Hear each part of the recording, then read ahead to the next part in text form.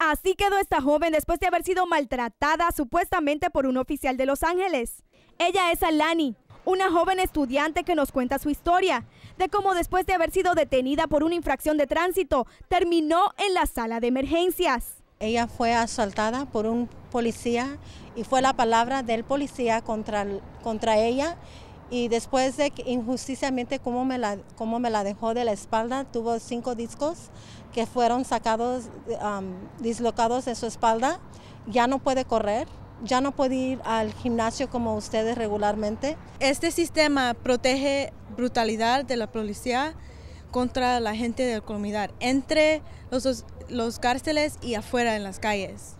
Alani y toda su familia han ido a la corte para buscar justicia, pero hasta el video que tenían de prueba les fue confiscado por el departamento de policías. Así también Luis. Mi amigo fue matado por la policía de los sheriffs en septiembre 10 del 2013. Fue matado siete, siete balazos y el departamento de los sheriffs no tiene ningún, ningún, um, um, no tiene nada de justicia para el sheriff que lo hizo. Y como Luis, Diana. Los, los um, sheriffs golpearon a mi padre y era tan tanto que ya tiene un plata metal en su cabeza. Y es por casos como estos que la coalición en contra de la violencia de oficiales de Los Ángeles hoy se unió para abogar para que exista otro tipo de supervisión a los oficiales y que sea controlado por alguna otra organización.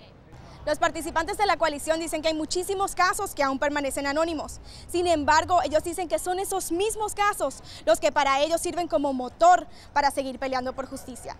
Reportando desde Los Ángeles, Tayana Lachelle, Noticias 62, tu ciudad, tu equipo.